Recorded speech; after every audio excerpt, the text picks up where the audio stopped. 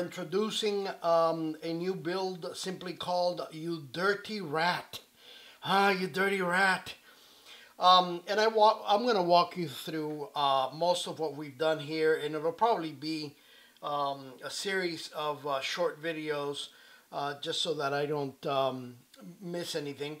Um, so we are going to begin with um, with the basic uh, here, which is the body, and um, you know the body. Of course, the beauty of that body is that it comes off, and what we did here was basically put down a coat of um, gray, not not gray, um, rust uh, colored primer uh, then we added, uh, we started layering in the, uh, this was all done uh, via airbrush. We started layering in uh, some of the metals and um, we came back and we made sure there was continuity between the top and the, um, you know, and the sides.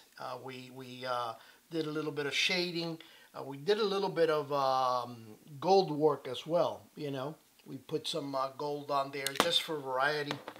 And um, anyway, we're really happy uh, the way that turned out.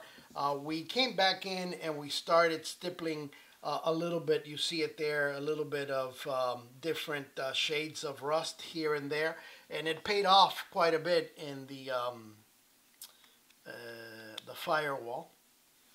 you can see it there. And really, uh, really good, um, good texture on it.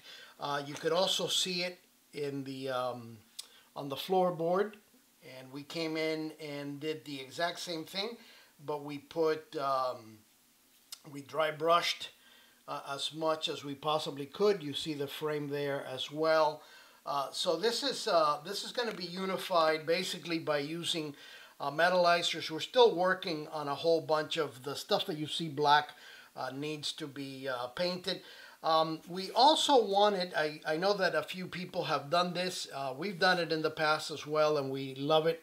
Uh, this is a perfect build um, in which you can uh, print up some of these old vintage license plates and then come back in and use them uh, just because it's it's perfect and uh, you, you know it just gives it gives uh, the build um, what you know it, it, just gives it an amazing you can see it there um, you know it's just the, the, details go through the roof when you do that.